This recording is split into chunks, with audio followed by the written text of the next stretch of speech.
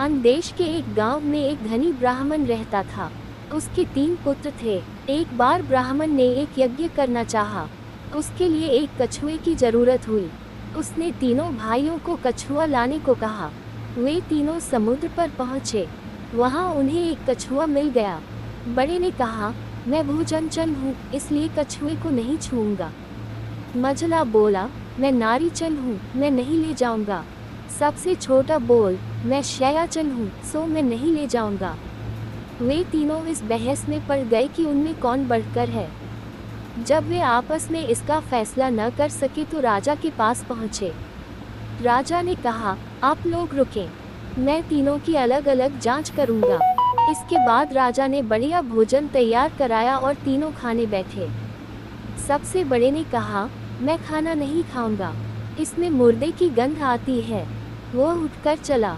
राजा ने पता लगाया तो मालूम हुआ कि वह भोजन शमशान के पास के खेत का बना था।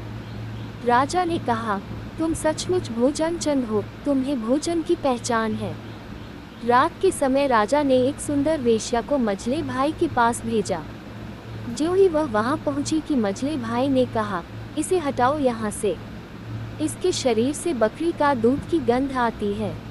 राजा ने ये सुनकर पता लगाया तो मालूम हुआ कि वह वेश्या बचपन में बकरी के दूध पर पली थी।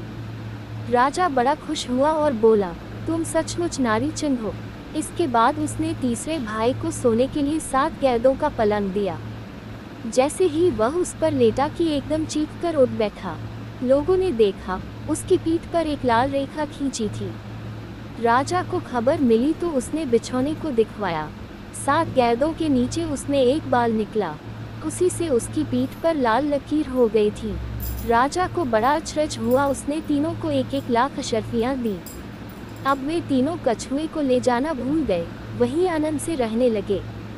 इतना कहकर बेताल बोला, हे राजा, तुम बताओ, उन तीनों में से बढ़कर कौन था? राजा ने कहा, मेरे विचार से सबसे बढ़कर शयाचन था। क्योंकि उसकी पीठ पर बाल का निशान दिखाई दिया और ढूँढने पर बिस्तर में बाल पाया भी गया। बाकी दो के बारे में तो ये कहा जा सकता है कि उन्होंने किसी से पूछकर जान लिया होगा। इतना सुनते ही बेताल फिर पेड़ पर जा लटका। राजा लौटकर वहाँ गया और उसे लेकर लौटा तो उसने ये कहानी कही।